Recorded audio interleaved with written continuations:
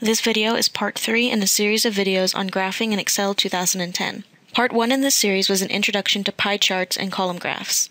In this part, I will step you through the process of making the column graphs I used in part 1.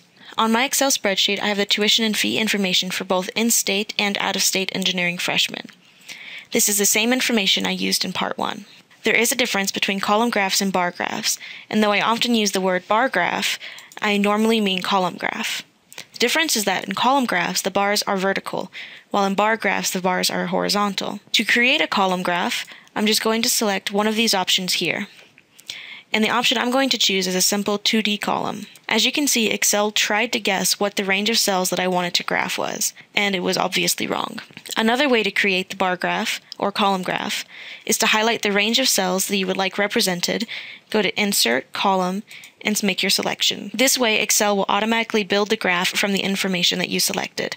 I'm going to go ahead and move this graph to its own spreadsheet. As you can see, only the in-state student tuition and fee information has been represented on this graph. So we need to select the data and alter that so it represents both the in-state and out-of-state students. First, I want to edit Series 1 and change the name to in-state students. This way, as you can see in the background here, it'll update the legend showing that in-state students is the blue. Now I add another range, and these will be the out-of-state students. I also need to select the series values. To do that, I go back to tuition 11 through 12, which is my other spreadsheet, and select the range of values corresponding to the numerical fee and tuition information, not the, the labels attached. Now I select OK, and as you can see here, it filled in the rest of the graph. But the horizontal axis label is numerical rather than the comparison values that we have listed for the in-state students. So I just need to go to Edit again, back to my other spreadsheet, and highlight the labels associated with the fee information.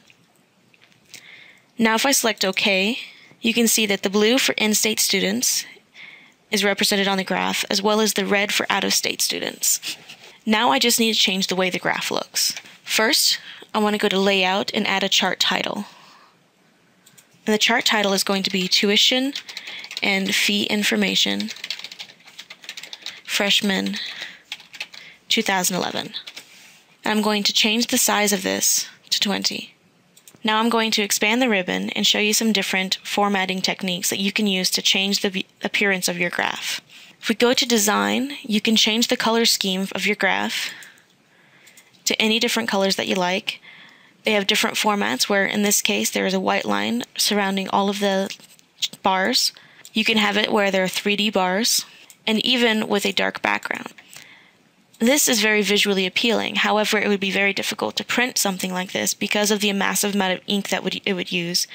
And there's always the possibility that since it does use so much ink, it may not print properly. So what I'm going to go do is go back to the very top and change it back to my original color scheme. Then I'm going to change all of the sizes to make it all easier to read.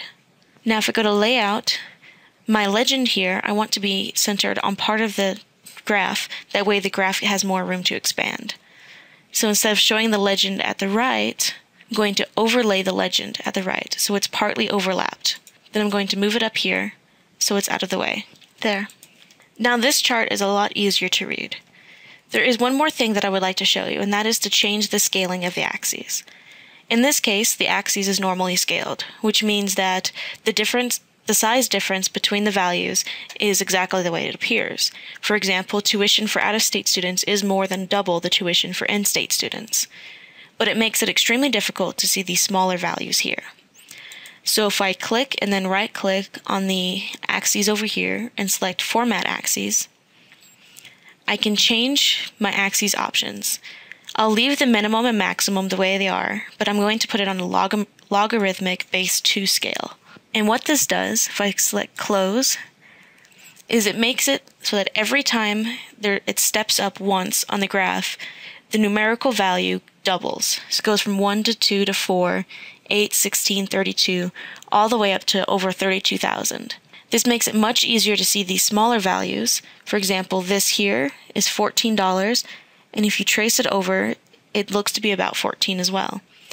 However, it can be misleading because it makes it look like there's not much of a difference between the out of state tuition and the in state tuition, when in fact, if you remember from before, it is nearly double.